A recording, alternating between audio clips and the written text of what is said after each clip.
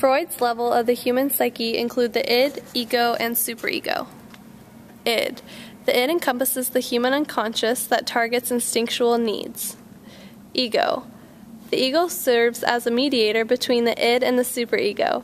Once fully developed, it understands the needs of others. Superego. The superego develops social and moral norms, partial consciousness, and a sense of guilt. Established by Anna Freud, defense mechanisms help to relieve the tensions that arise within oneself when the impulses of the id and the moralities of the superego clash. Shown below are a list of defense mechanisms that demonstrate the clashing between the two.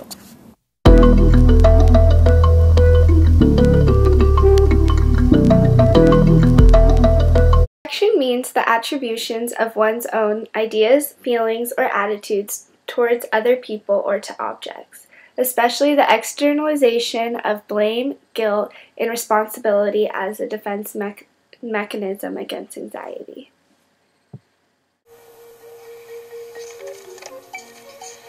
Why should Caesar get to stomp around like a giant while the rest of us try not to get smushed under his big feet? What's so great about Caesar? Brutus is just as cute as Caesar. Yeah, Brutus is just as smart as Caesar. People totally like Brutus just as much as they like Caesar. And when did it become okay for one person to be the boss of everybody, huh? Because that's not what Rome is about. We should totally just stab Caesar! Gretchen Wiener's head cracked. As you can see, Gretchen Wieners is projecting her angry emotions onto her English class as she aggressively speaks about Caesar. Regina humiliated Gretchen, and as her defense mechanism, she is attributed her own undesirable thoughts and impulses onto others, her class. Those undesirable thoughts and feelings are then perceived as coming from someone else. Instead of dealing with her upset emotion, she releases and projects them onto others. Suppression is an unconscious defense mechanism in which the individual excludes unacceptable desires, thoughts, or memories from the mind. In the following video clip, taken from the movie John Tucker Must Die, we see a scenario in which a mom is very upset about constantly going through the routine of dating men who always wind up leaving her. Suppression is shown as she hides her feelings by resorting to binge eating chocolate frosting. She's doing this to force unwanted memories out of her awareness. It's happened so many times that my mom's developed a very mature reaction.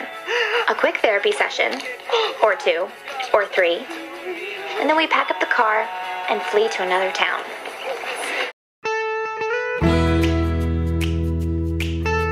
Displacement is an unconscious defense mechanism whereby the mind redirects affects from an object felt to be dangerous or unacceptable to an object felt to be safe or acceptable.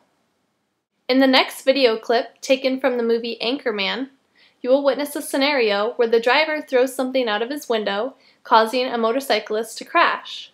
Displacement is shown when the motorcyclist takes his anger out on the innocent dog that is standing nearby. Down because you are what, my little gentleman? This burrito is delicious, but it is filling.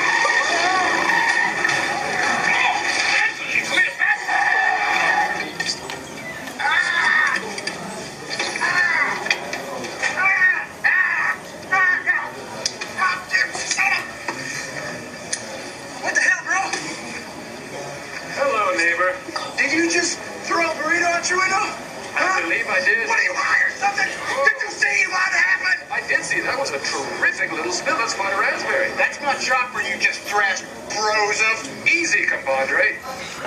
I'm your friend out here, all right? I want you to fix my chopper before I stomp your goofy ass. If you want to throw in fisticuffs, fine. I've got Jack Johnson and Tom O'Leary waiting for you, right here.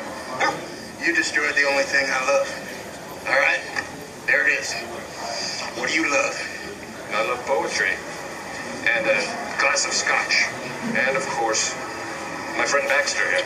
Well, guess what? Now this is happening. Excuse me. Excuse me. What are you doing? That's how I roll.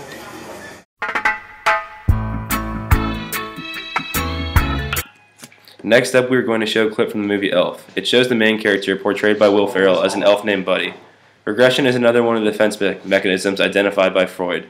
According to Freud, there are times when people are faced with situations that they can't deal with and protect, protect themselves by retreating to an earlier stage of development. In the scene from Elf, Will Ferrell's character, Buddy, meets a store manager. His character is convinced that Santa is real and that he's coming to the store tomorrow, which clearly shows he's reverted back to an earlier behavior or belief before he grew up. He also does other childish things, saying that smiling's his favorite. In conclusion, Will Ferrell as Buddy the Elf is a perfect example of regression in that he continually acts like a little kid, although he's clearly a grown man.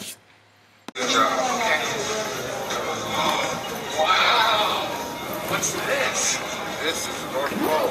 No, it's not. Yes, it is. No, it's not. Yes, it is. No, it isn't. Yes, it is. No, it isn't. Yes, it is. No, it's not. Where's the snow? Why are you smiling?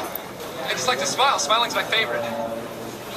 Make work your favorite. That's your favorite, okay? Okay. Work is your favorite. Fine. Time for an announcement. Okay, people, tomorrow morning, 10 a.m., Santa's coming to town. My God! Santa here? I know him. I know him. Be here to take pictures with all the children. Yeah. Just keep the receipts. 10 a.m. tomorrow. 10 a.m. tomorrow. Santa's coming to town. Yes. Oh, hi. Santa's coming.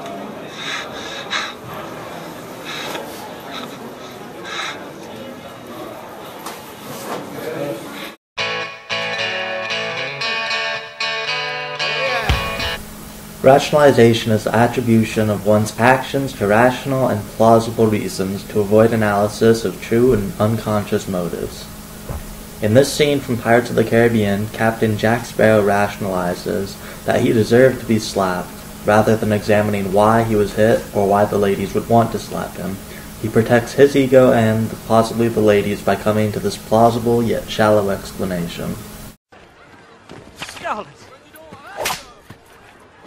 Not sure I deserve that. Giselle. It was she? What? I may have deserved that.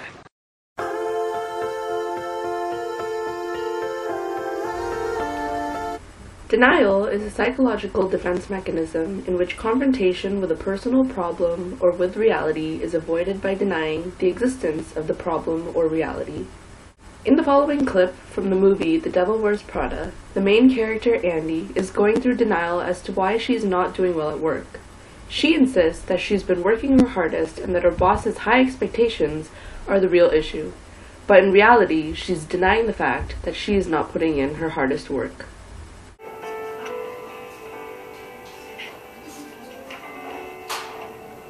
She hates me, Nigel.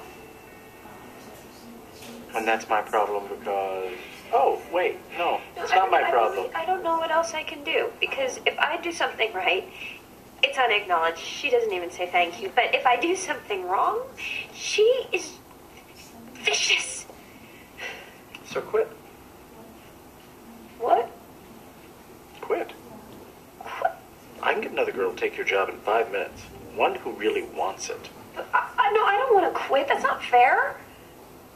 Know, I'm just saying that I would just like a little credit for the fact that I'm killing myself trying. Andy, be serious. You are not trying. You are whining. What is it that you want me to say to you, huh? Do you want me to say, poor you? Miranda's picking on you. Poor you, poor Andy. Hmm? Wake up, Six. She's just doing her job. Shawty's like a melody in my head that I can't keep. Next up, we're going to show a clip from one of my favorite movies, Dumb and Dumber. The clip directly portrays intellectualization.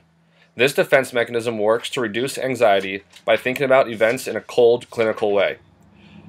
It allows us to avoid thinking about the stressful, emotional aspect of the situation and instead focus only on the intellectual component. In this clip, Lloyd Christmas is asking the girl of his dreams what the chances of a guy like him getting with a girl like her.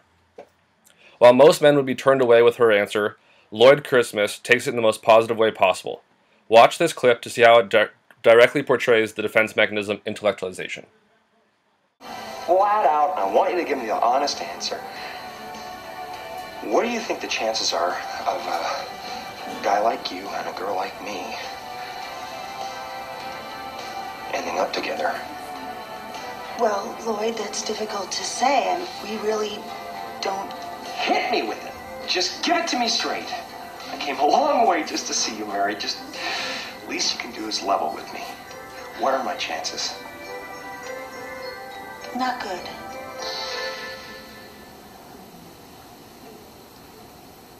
You mean not good like one out of a hundred? I'd say more like one out of a million.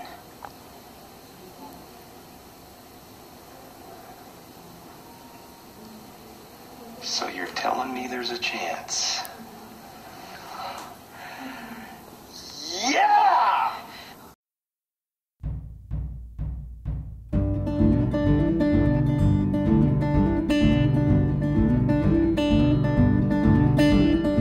When we were younger, we thought everyone was on our side. Then we grew a little and romanticized the time I saw flowers in your hair